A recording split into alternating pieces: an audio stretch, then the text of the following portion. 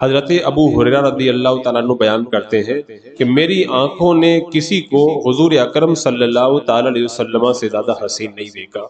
जब कोई आपकी तरफ़ देखे तो ऐसा महसूस होता था जैसे सूरज की शुआएँ आपके चेहरे मुबारक के अंदर तैर रही है। और आप जब तबस्सुम फरमाते थे तो सामने के दरो दीवार जगमगाने लग जाते थे।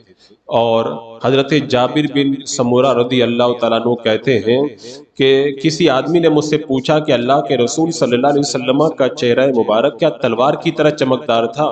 तो हज़रत जाबिर कहते मैंने कहा, नहीं। मैंने कहा कि सूरज और चाँद जैसा नूरानी और गोलाई की तरफ़ माइल आपका चेहरा मुबारक था।